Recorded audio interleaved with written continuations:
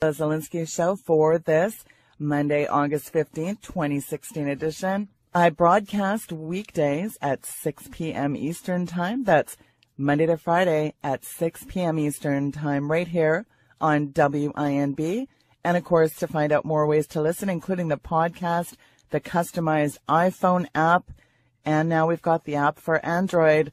So do go and look for the Weekend Vigilante app.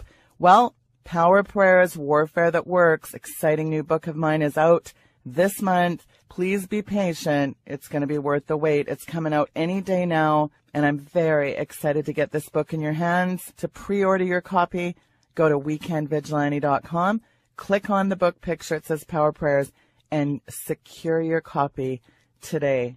I'm very excited about that. Well, let's jump right into the show. My guest is Jim Willie from goldenjackass.com. He was on the show about a month ago and it was a very popular show and it is great to have him back to weigh in on the insanity unfolding. Not even looming anymore. It's unfolding before us. Jim Willie, great to have you back on the program. Welcome, sir. Oh, it's a good to be back, Sheila. And, uh, you know, as usual, I, I, keep saying this with almost all the interviews. So much has happened since the last time we talked. We're, we're, this is the quickening. We're, we're, having an acceleration of important events, not just events, but important events that, that are shaping the world and, and reshaping the geopolitical structures that run the world. And, and this Turkish situation and the British situation, these are, you know, dire you know, the, the big stories and the, the big themes like the Clinton Foundation. The Clinton Foundation, in my opinion, is, is the source of the problem. And a lot of what's going on with Hillary requires those involved in the Clinton Foundation corruption to protect themselves and to protect their dog. Their dog is Hillary. And, and the Clinton Foundation, I think, involves something like 30 important offices of the U.S. government and maybe as many as two to 300 people, all skimming millions, if not billions, from peddling U.S. data, U.S. intelligence, U.S. weapons, U.S. uranium, and more. The Clinton Foundation is the entire nexus for the U.S. government systemic ingrained corruption. And that's why you will never see it prosecuted. For instance, Comey, the FBI director, he's not going to slam the, the uh, Clinton Foundation. He was in charge of the HSBC legal staff in London, right? And they had they had to fend off the narcotics money laundering issues. So you can't have someone prosecute when that person is involved. So you're not going to see the Clinton Foundation fall apart. You're going to see the entire U.S. government and its debt situation and its currency structures all fall apart because of no remedy. And, and this is going to be tragic, and I, I hope we don't end up with a world war, and I think we're going to see a, a number of important collapses in the next several months. It's, it's not probably going to happen in a way that many expect. I, I think we're going to start seeing more and more actual boycotts where nations say, we don't want your dollar. We, we don't want to be paid in your dollar. We don't want your treasury bond because you've turned it into a Zimbabwe currency. I just got an email. This is fascinating, Sheila, but I get contact us email, but I also get client and follower email. If someone sent me a few messages several months ago and not being a client, using Contact Us, the several responses I gave enabled the person to make a new comment to me directly with my email. I just got an email from somebody, I believe it was a client, and it was a client from North Dakota, North, North Dakota, sorry. It was about Bobcat Corporation, you know, that, that makes the, they're not, I call them a, a small time caterpillar. Um, they make industrial equipment like forklifts right. and little scoopers, not not for making roads, but for digging a trench where a sewer line's coming in. Okay, Bobcat. They're having a problem now. They're they have a parent organization in South Korea. So, you know, we lost that company to a an Asian larger company. Okay, well, more colonization. But the important point that was brought to my attention was Bobcat is now shipping in their machines, you know, like the Bobcat scooper. But the point was that the shipped machinery coming into the West Coast is being held up. I don't mean like gunpoint and you know robberies. I mean it's being delayed to unload because they don't want treasury bills. We're getting concrete examples. The message to me came in. Jim, I heard you talk about how port facilities are seeing more and more examples of treasury bills being refused for payment. Here's a concrete example with Bobcat. Okay, this is one more. I think in the next several months, there'll be a dozen. They're starting to refuse treasury bonds as a legitimate form of money because we're printing it like Zimbabwe. We, we're calling it stimulus, Sheila. Yeah. It's not. It's killing capital, undermining the whole payment structure system, backdoor Wall Street bailouts for worthless, toxic, impaired bonds that no one wants to buy. Absolutely. So, where's the stimulus? It's not, it's contamination. So we're going to invite, and it's it's accelerating, the, the whole world. I'm looking for where the fractures are going to take place for bringing about the actual end to the global dollar. And I, I think it's going to be trade payments, and I'm now starting to think it's also going to be the Treasury bond complex itself. Well, I don't have to tell you, Jim, this has been a wild year with, of course, we know gold up the most in 36 years. Probably the biggest year to date performance in 36 years has just occurred over the last few months. We've got mining shares in blast off mode. I mean, what surprises you the most in this kind of short time period since about April? Since April, um, I think the turns in Turkey and Germany I, am focusing internationally a lot. I try to look a lot at what's going on in the bond market, the treasury bond market. And now I'm starting to watch all the major bond markets. The German Bund has a problem. The British Gilt has a problem. The U.S. Treasury has a problem. But internationally, I think that the turning point, linchpin countries of Turkey and Germany are getting fed up with the U.S. masters. And this is what's surprising me. Bond markets, not just ours, but the sovereign major bond markets, and many call them vassal states, uh, Japan, Germany, Turkey, they do what we tell them or we kill them. Right. The number of murders is astonishing. I mean, you can focus on the Hillary murders, and I think there's six since May, but very few people focus on the Brazil murder of Eduardo Campo a year and a half ago. He was a moderate presidential candidate that the U.S. did not want. So he had a small plane. He didn't get out of it because it crashed. And, and here's one of the telling indicators there was a pro Washington person, a Brazilian leader, who was going with Campo, and he decided at the last minute, might, might have been a woman, that that person, that leader, decided at the last minute no, not going on that flight. Why not? Change of plan. What kind of change of plan? Uh, we're not told.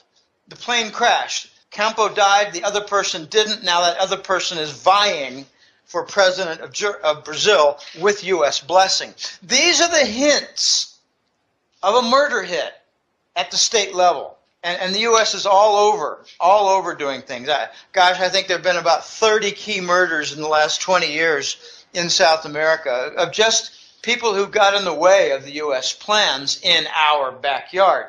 But I'm focusing on a lot of things, Sheila. I, I, I, don't focus on everything. I don't have enough time. But uh, I really think Turkey and Germany are turning points. Germany is going to be extraordinarily difficult for their leaders and their people and their industrial captains to change course. Well, the American economy is living on borrowed time. I think we know that. We've got the infusion of massive amounts of printed out of thin air cash being printed by the Fed. I mean, anyone with an IQ above room temperature knows the inevitable economic, crash is looming just on the horizon. We know the deficit's what, 20 trillion, soon to be 21 trillion dollars. And that's the good news. I mean, the unfunded liabilities debt is estimated to be 240 trillion dollars. You look at the derivatives, we've been saddled with the burden of what, paying through the infamous bailouts. That's what, 1.5 quadrillion dollars. I mean, it is really mind numbing what's happened, isn't it? It's mind numbing, but when, when people ask me when do they, when do I think the crash is going to take place, I, I say right after the Lehman Brothers incident. We've been in crash mode for eight years. You, you can say, well, we're heading toward a crash. No, I, I say we're in a crash. Would you like 20 examples? Take a look at the freight index, electricity usage. Take a look at my favorite economic statistic that's that's intentionally held back a lot. Corporation withheld income tax. You can't fudge that. Tax withholdings. You can't fudge it. You can't fake it. You can't say, well, wait a minute, we're, we're going to do some adjustments on that. No, you just look at it from year to year, and it's gone down about 20% in the last several years. Okay, we're in a crash now. You take a look at, it's not just freight. Take a look at trucking. Yeah, you know, listen, trucking. I'm so glad you brought that up. I was talking to a head of truck shipments in America, and he said shipments in June, Jim, were down so bad. He said it was absolutely mind numbing. So I'm really glad you brought that up because they continue to dive, don't they? They, they do, and, and it, it's evident evidence of the economy already in crash mode. You could take a look at uh, container vessels. This is another favorite of mine. Containers on shipping vessels. They're way down. But here's the extraordinary statistic. Last year, 2015, the United States exported, you know, back to Asian or emerging market nation ports, we exported 500,000 empty containers. Wow. To go back and get filled again. We're, we do not make much here. We make, you know, weapons. We make laced vaccines that contain the actual virus. We make fraudulent bonds. What do we make here? McDonald's? I, the, my, the voice has a joke. He said, Jim, one of the major exports from the United States is diabetes. McDiabetes. We're not loving it. it. It's it's funny. I know it's funny, but what does that mean, Jim? Say the stupid guys in the corner. Well, it means that the fast food and the French fries are being exported all over the place by means of uh, you know the franchise. I mean, we used to have Wendy's here in Costa Rica. I didn't like their hamburgers. I liked their frosty. They, they made a tremendous little milkshake that was chocolate and had little, you know, tiny micro ice bits in there. It was the best milkshake in, in all the town. They shut down all the Wendy's. But, you know, we still got McDonald's. By the way, McDonald's in Costa Rica is far superior to McDonald's elsewhere. Oh, they got much higher quality hamburger. They don't use, you know, human uh, meat. Well, beef bones and, and human parts. okay, all right, we're getting off course here, but I truly believe Turkey is a gigantic turning point story. And and I, I just, you know, an hour ago finished a chapter that featured a lot of the Turkish Russian interplay. Uh, the United States tried to get a coup. It, wasn't just the United States, it was elements friendly to the United States that we're working with because we love terrorism so much in Washington. And they, this group, ISIS, is really good at it because we train them in the East Coast U.S. military bases.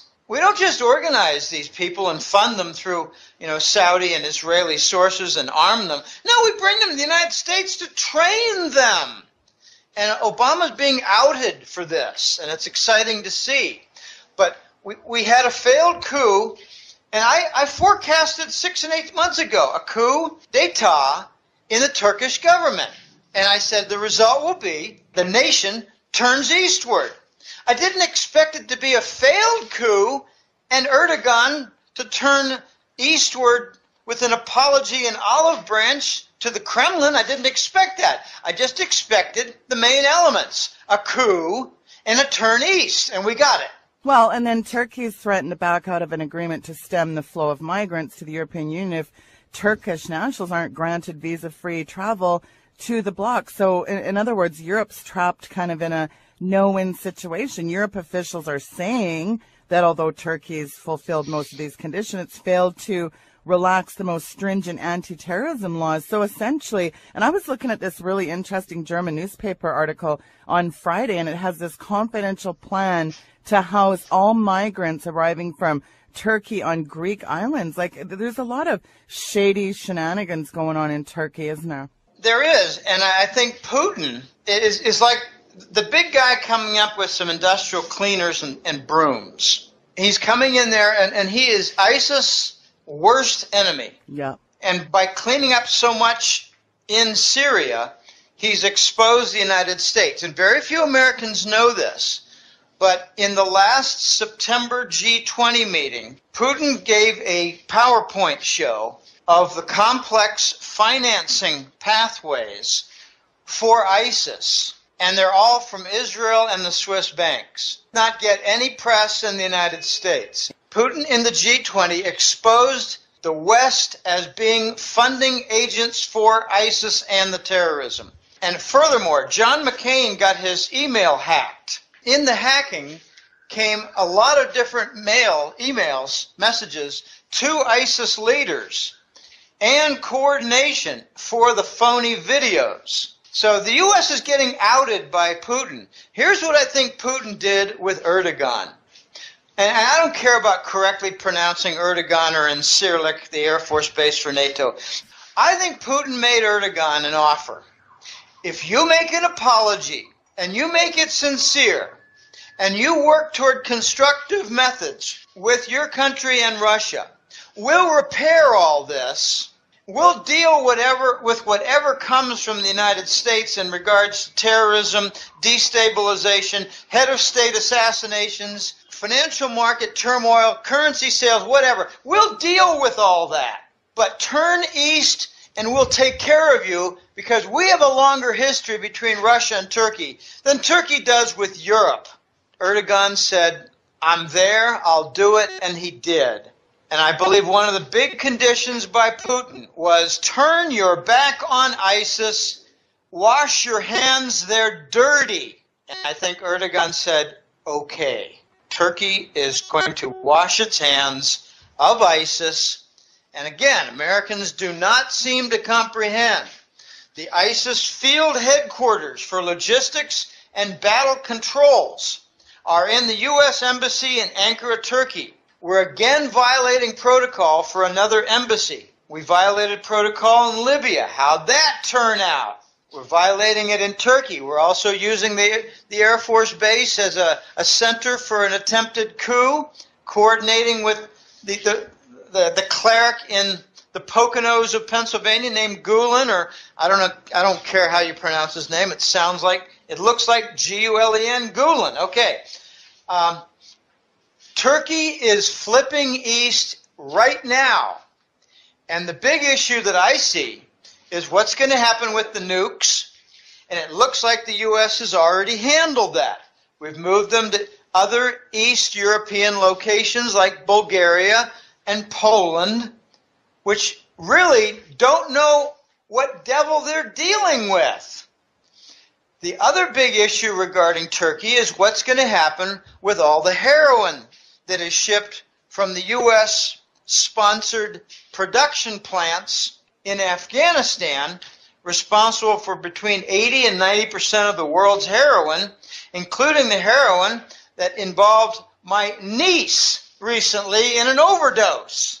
What's going to happen with all the heroin that the U.S. sends through Kosovo to Turkey from Afghan origins? And I think the U.S. is going to solve that easily by just using and abusing the Ramstein base in Germany. You know, this is so perverse. I just had a, a conversation face to face with a client a few weeks ago, and the person said to me, Jim, I want to tell you a story about my son. This fellow was in his 60s. You know, that, that's my age. So my guess is it had to be someone about his same age. I think it was his brother or brother-in-law, something like that. Anyway, let's just call it his brother. He said, my brother served at an Air Force base in Thailand during the Vietnam War. And I said, oh, that must have been interesting. A lot of, a lot of movement of dangerous weapons and, you know, ordnance that ended up in Cambodia and Laos. And, and he said, oh, yeah, but the point of my story, Jim, is that the the Air Force base, I can't remember the name of it. He said it's a gigantic Air Force base the U.S. runs in Thailand, very near the, the, the uh, I think the Laotian border. I'm not sure of the geography there, but very close for all the, the runs. And he said this Thailand base had a distinction. They handled the dead bodies. And uh, I knew where he was going to go with this. I said, Oh, yeah, 100 pounds of heroin in every coffin. He said, Exactly. Every coffin had 100 pounds of heroin. He said, Here are some of the other little signals that are so important on the detail side. He said, Imagine, you know, moving a coffin. You, would think, well, they get the privates and the grunts and the sergeants and get them all there working up a sweat in the Thailand sun. He said, no, no, no. You had to be captain or higher to even be in a certain region, a certain area of the Air Force Base that handled the coffins. I said, why was that? And he said, because they're loading in the heroin. Wow. 100 pounds per coffin. And he said, if you, he said it was a real shock because my brother, my brother occasionally wandered where he wasn't supposed to just just you know going for a walk, and he get got stopped by some colonel and said, "What are you doing here?" And he said, "I'm just going for a walk." He turned around. This is a restricted area. Why is a coffin area restricted? And they say, well, it's respect to the families involved, so that there's no desecration of bodies. 100 pounds of heroin. Then he went on to say, Jim, did you ever see the, the movie with Russell Crowe, Russell Crowe, the Australian, and Denzel Washington about the Thailand Air Force Base? I said, no, I missed that one. I see a lot of movies. I did not see that Denzel Washington movie. He said, Denzel acted as a ranking U.S. Army military officer. Oh, American they, Gangster. American Gangster, yes, that was it. That was it. Yeah. Yes. And he said that's where the heroin came from, that they loaded 100 pounds per coffin. And I, and I said to him, you know, that's a real reason not to dislike a lot of casualties. And we only had 50,000. Gosh, we could have had more. And he said, yeah, and, and beware that it was the, the lower class that largely died in Vietnam. Point is, uh, Turkey has nukes. They're being moved to Eastern European other locations. Tur- Turkey has a lot of heroin moving through it, going going to the other Western European cities and, and countries where they have significant income and drug problems. I think that's going to be all rerouted through Germany's Ramstein base. And I made some comments in a recent interview, and I got some more contact us commentary uh, from a, a very smart German fellow. And he said, Jim, the part about Germany you may not fully appreciate is that the, the powerful, no, the, the centers of power in the German government and hierarchy are all subservient to Washington. He said, I'm referring to the chancellor's office, that's the president. Yeah. I'm referring to their intelligence network, their press networks, and certain members of the parliament. They're all beholden to Washington with, with you know, uh, loyalty oaths that supersede their oath to serve in the German political offices. So we, we've made Germany a vassal state. It's going to be very difficult for it to uproot. And I made the comment that the industrial captains are just going to ignore the political, the political leadership. And he said that that could very well happen. He said, I liked your term of industrial captains. You know, it's the executives, the ones who are trying to maintain business course, trying to keep the export trade strong, trying not to lose their Russian business to China. Well, Europe is on the brink of a financial meltdown, we see banks are charging customers, Jim, to hold their cash in negative interest rate. I mean, what kind of world is that? You've got euro area shutdowns putting onuses on Germany as Brexit risks gather. Of course, we see that. You know, you see these Swiss partners, these offshore wind farms. I mean, it's just a gong show in Europe, isn't it? It is. I, I like to make some comments about the negative interest rate. Yes, please. I mean, I, I made a name for myself in a certain way back in 2003 before the hat trick letter when I wrote a four part series called Ass Backwards Economics to point out how U.S. economic policy is very destructive, how things are not working as we want, and how propaganda is used to, to falsely describe what we're doing so people don't understand. But the negative interest rate, I think, is far more complex than we're told. Why do the bankers do that? What do the bankers say for their motive to have a negative interest rate? They actually say, we're trying to push money out of the safe haven of the banks so that it'll go out into the economy and be productive with business capital and, and, and you know, plant and equipment, buying things, starting businesses. Well, if that's the case, why don't the banks lend more to the commercial sector? There's the contradiction. They don't. So their reason of pushing money out of the idle safe haven into the capitalist centers is a lie.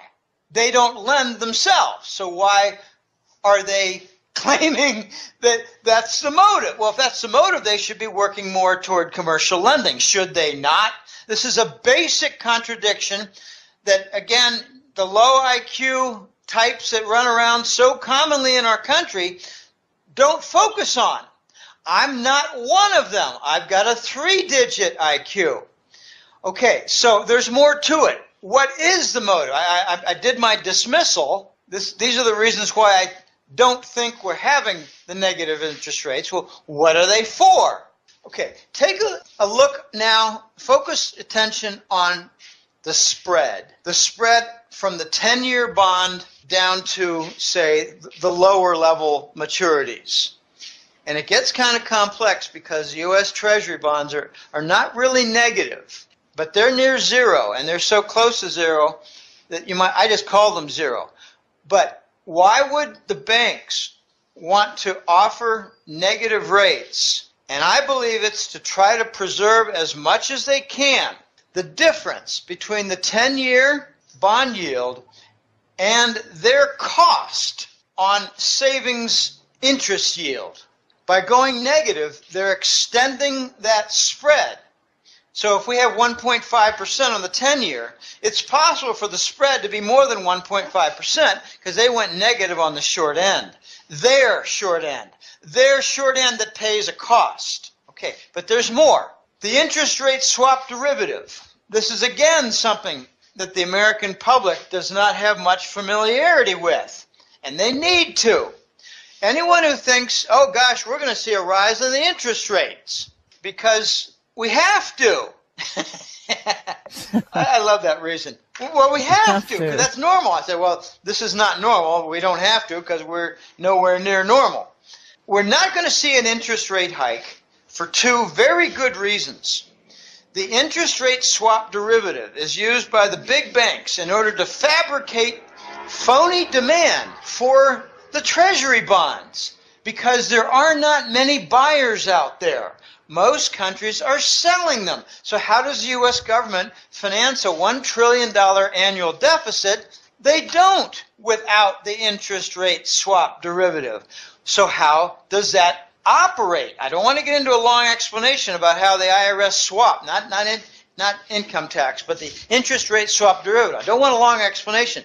But the feeder tubes to it are the short bonds, the short treasury bills. If they're running at near zero, then they've got a free feeder system for their bond factory. And I guarantee you, any factory loves zero cost input feeder systems. If they raise the cost of the feeder system to the fabricated 10 year treasury bond, they destroy the entire machinery. So they're not going to do that. I think they're turning the rates negative in order to facilitate even more fabricated, phony, long term treasury bond demand. By going more negative, maybe it's beneficial on the feeder system instead of costing them a very small amount of money, maybe they're earning a small amount of money by using the feeder tubes of the short term bonds called treasury bills. Unbelievable. And I think the U.S. is starting to use a whole lot more their European and Japanese connections because recently the Japanese connection on the treasury bill went rather negative, whereas it's not negative in the United States. So when you factor in the currency conversion, for that whole arbitraged element to the treasury bond that's purchased in Tokyo, it's now running at a negative rate. How, what's the European connection? Well, it's the BLICs. It's Belgium, Luxembourg, Ireland, Cayman, and Switzerland. They have an equal volume of treasury bond purchases as the Fed does. So, in effect, the Fed has doubled their treasury bond purchases while lying to the public. They do it through the back door. And how, do, how, for instance, does Luxembourg buy treasury bonds? Well, they do a swap of the dollars with the Central Bank of Europe and the United U.S. Fed, and in comes all the ample money, and they buy treasury bonds with it that stays off the Fed's books. So we're exporting Zimbabwe giant tubes of acid all across Europe. This cannot it's, end well. It's not going to end up with, with the U.S. system just, just breaking from lack of attention. No, there's too much attention, and it's all corrupt. It's all market rigging. I mean, there isn't a big market in, in, in the U.S. or the West that, that's not rigged by the Fed, Wall Street, and the Exchange Stabilization Fund operated by the U.S. Department of Treasury it used to be a, a, fund, the ESF, Exchange Stabilization Fund.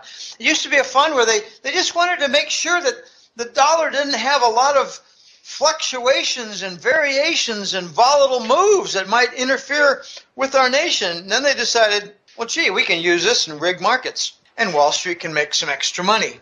Uh, one, one of my favorite news stories, Sheila, is to mention back in 1991. Remember the Bank of Japan went to the zero interest rate and, and heavy quantitative easing, 1991. Well, the, they were still back then a vassal slave state. So why would they do that? Well, you could take a look at some of their previous stimulus projects, and there were lots and lots of bridges and roads to nowhere. I'm not making this up. They had bridges and big roads, highways that had no cars on them but they were great for keeping population working, you know, working class, at the labor market, keeping them busy, keeping them paid, and uh, money flew all through the system. Why would the Japanese do that? It wasn't so much to cover all the costs from the failed stimulus plans. It was Wall Street that told them, go to 0%, because we want to borrow the 0% and invest in the U.S. stock market. It's called the yen carry trade. Borrow at 0%, invest in, say, treasury bonds, earning 6%, what's the profit there, Sheila? Is it not 6% a year? Right. If they can engineer a two year trend of a, of a positive rally, they can load on 20 to 30 to 1 leverage with bond futures contracts and make 20 times the 6% per year. That's doubling their money on hundreds of billions borrowed at 0%. Is that not a profitable venture? Yeah. Wow. Okay, but what it had as a consequence was to screw up the Japanese economy. But that's okay. They're a vassal slave state. We don't care if they're wrecked, because if they're wrecked, China won't want to adopt them. Oy, oy, oy. We're coming into, of course, we're halfway into August. What do you see on the horizon here for August, September here, Jim? On the financial front, what's coming in the rest of August? I think that the big news that's going to happen in the next couple of weeks will be primarily continuation stories of what's already going on now. We've got to finish up the Olympics. And by the way, three American swimmers were held up at gunpoint, including uh, the, the, rival of Phelps. And I'm not surprised about that at all. I thought there'd be one a day. Rio is just chock full of crime. It's an amazing crime center. But the continuation story for Turkey, uh, we're getting more and more fleshed out details of enormous trade deals between Russia and Turkey. They're resuming the Turkish Stream pipeline for Gazprom. They got back online the big nuclear generating plant in Turkey. They're going to be continuing with the gigantic natural gas storage facility in Turkey.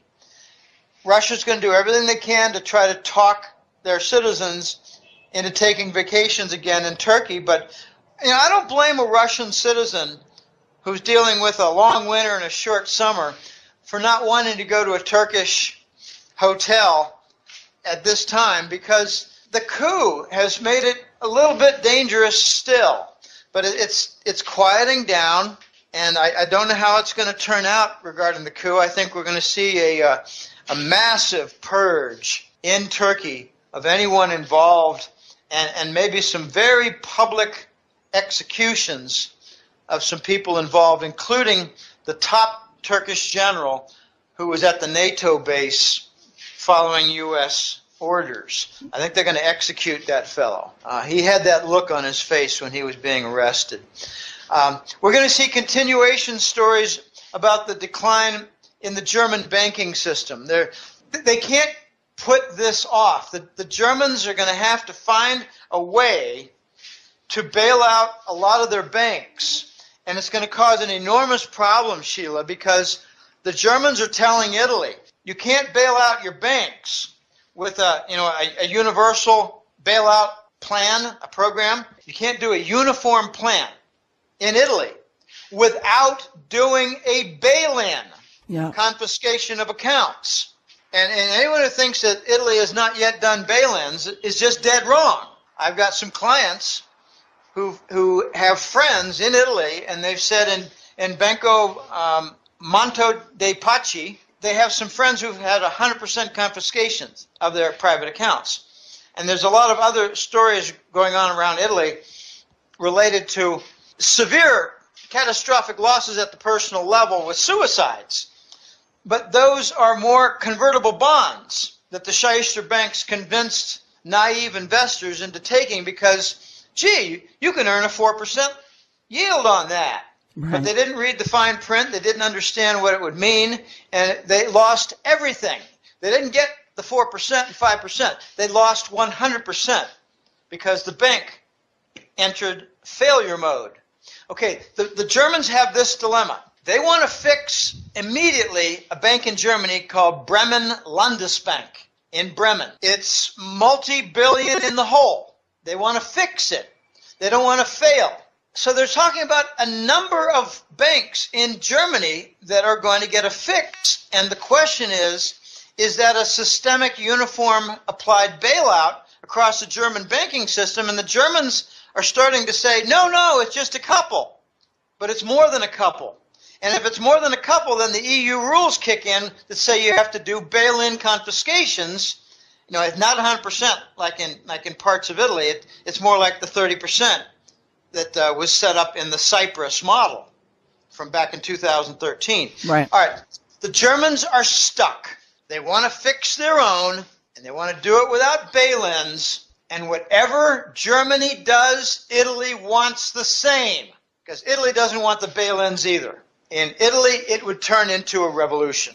Well, Jim, what, what, what's your take on the World Bank approving China to use SDRs as the RMB continues to grow in global use?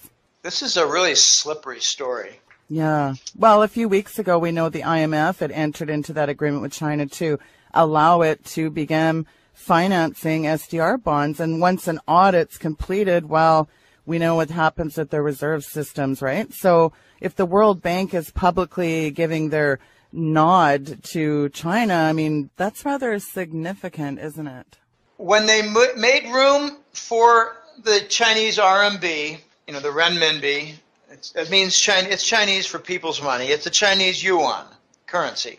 When the International Monetary Fund has their currency basket, they call it the SDR, the Special Drawing Rights. It's a maintained, managed basket with fixed weights in it. When they invited the Chinese RMB currency to come in and participate and be part of the group, they're going from four currencies to five. The dollar, euro, pound, and yen now has another brother called the RMB. So the next big question is what are the weights for the, the yuan, RMB, and it's 11%. That begs the question who gave up the 11%? And I've come to learn, I, you know, I'm trying to be diligent and not make errors here. I made an error about two or three months ago. I thought that the dollar was going to give up ground. No, it's the euro. The euro dropped by something like 9% in its weight.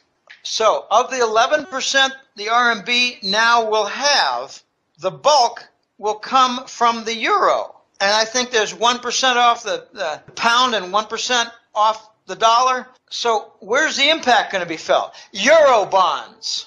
So, any big bank in those countries, in the, in the major na- national banking systems, any big bank is going to say, all right, we need to dump some euro bonds and grab the Chinese government bonds. They're not going to be dumping treasury bonds. So it's not a really big deal. It's a big deal to euro bonds. And whatever euro bonds are dumped, you can be guaranteed that Prince Draghi of the Euro Central Bank will lap them up like a dog does its vomit. Okay, what does that really mean? What are the consequences for the IMF to have a, a whole lot more of Chinese government bonds? Well, to begin with, China doesn't have a lot of floated RMB based bonds in the world banking system or in the global markets at all. Right. They've been running surpluses. They've been running trade surpluses of $20 billion a month with the United States. They don't have giant debt. They have a giant surplus. They have $3.7 trillion in Forex reserves. What does that mean? These are foreign exchange reserves in the form of bonds that earn interest. They're foreign denominated sovereign bonds in their reserves. They don't have a big debt. So the Chinese are going to have a problem. this, is, this is kind of funny. they, they're going to have a problem with having an inadequate number, inadequate volume of bonds to float around the world to even make up the, the 11% that's designated in the IMF. They don't have enough debt. They're not unsuccessful enough, Sheila. Just yeah. like Germany. Germany has problems all the time lately. They've got big demand for their bonds because they're considered full of integrity, but they don't have much debt. They're not sufficiently unsuccessful to provide enough bonds to satisfy the demand. So they're running negative on the rates to discourage this.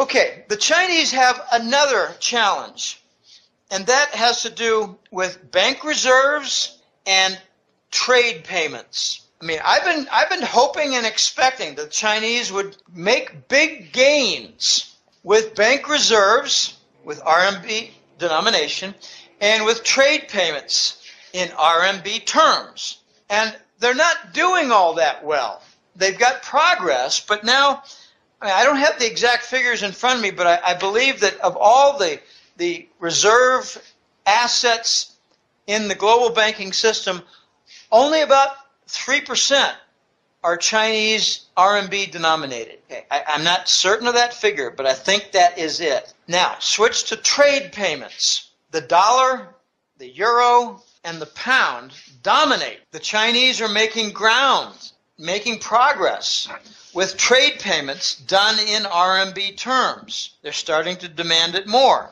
But my understanding is that they're only about 6% of all trade payments in RMB terms. If that's the case, how on earth did the Chinese RMB ever get to be anything remotely like a secondary reserve currency? 3% in banking reserves, 6% trade payment, woefully inadequate to be a secondary global reserve currency. And remember back 15 years ago, the big talk was the euro bond is going to be a important secondary reserve currency in the forex reserves. Right. And it has been. But now I think we're going to see a, a change. Why did the IMF have the euro give up the most ground in order to make room for the RMB. I believe it might have been something like the dollar people saying, not on my watch, take it out of your hide, euro. And the Euro folks said, well, we don't want to.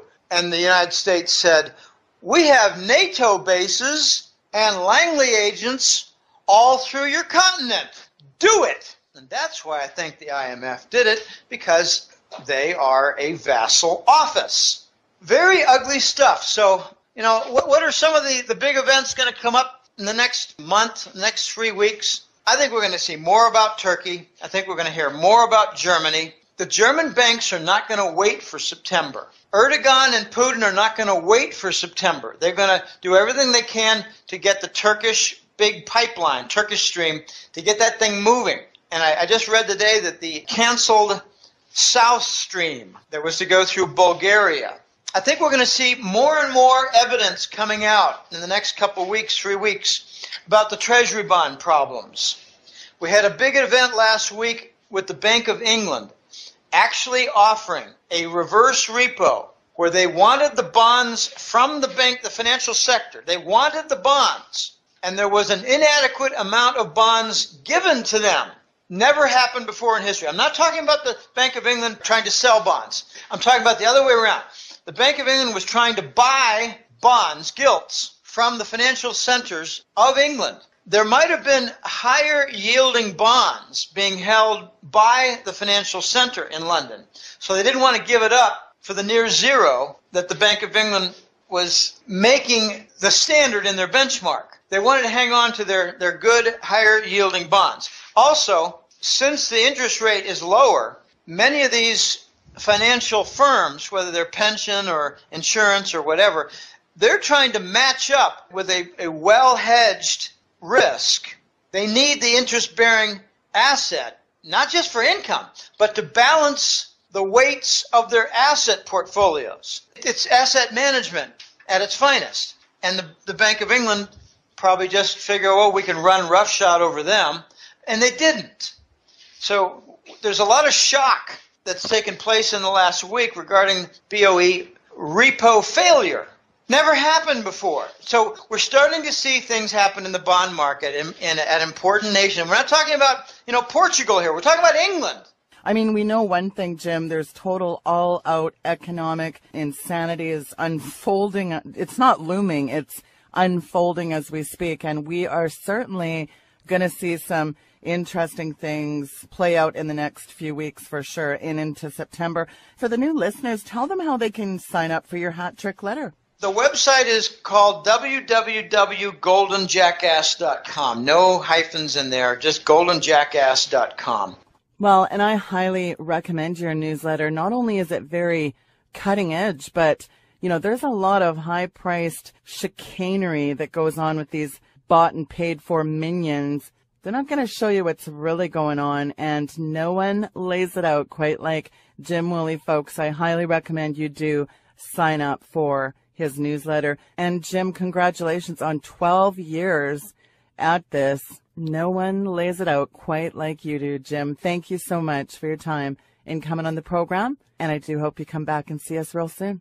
Well, it's a pleasure being on, and uh, you can count on my coming back. Thanks, Jim. Folks, that was Jim Willie, goldenjackass.com. His information is linked on today's bio, August 15th, 2016. People have been emailing me asking, Sheila, when is the book out? The publisher told us it's going to be released sometime this month.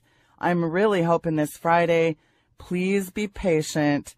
I can promise you the book is going to be worth it. If you haven't done so, click on Power Prayers Warfare That Works. I'm telling you what, it's going to change your life. Trust Carl and I when we say this book, wow, it's going to be amazing. And I'm very excited to get it in your hands. And don't forget to sign up for my YouTube channel and my social media. Why? Not because I'm a big fan of social media, but I do post a lot of information there and I do keep you up to date on guests coming on the program. You can see my social media icons at the very top right hand side of weekendvigilante.com. Hey, and if you want a guest to come on the show, well, simply go to the contact tab at my website as well. We have a fantastic lineup this week. Augusto Perez is coming to visit us and many other amazing guests. It's going to be fantastic. So